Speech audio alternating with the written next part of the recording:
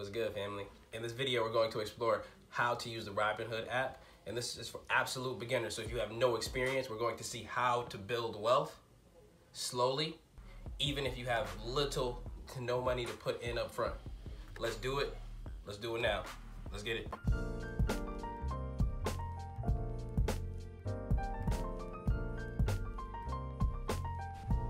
Let's jump right into it. Let's keep it simple. Open the App Store, type in Robinhood. You'll see the Robinhood logo. It has a feather and it says Robinhood, invest, save, earn. It's the very first one. Now, I already have it downloaded. So when you open it, it'll ask you to download, install. And new investors, you may get weirded out by this, but you're going to have to put in your social security number so that you can legally own the shares of your company of choice. Now that your account's created, let's look for the companies that you're interested in. So now we're using the browse function, and I typed in Apple, a company that many of us are all familiar with.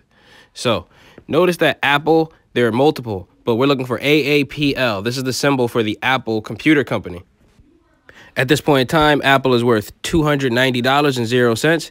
You can see the day it's down. And let's look at the ticker. This is AAPL, so we know we're on the right spot. You can see the month, the three month period, the year, five years. We can see what the trends are in this period of time.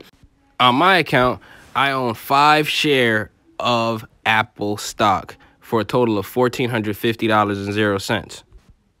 The equity number is what my five shares are worth. The total return is what Apple has earned me since I purchased it. Let's add some money to our account. Click on the right icon with the circle and the half circle on the bottom right. Then you're going to click on transfers, deposits and withdrawals. Click add account. Choose the bank that you have an online checking account with. Sign in and let's start our first trade.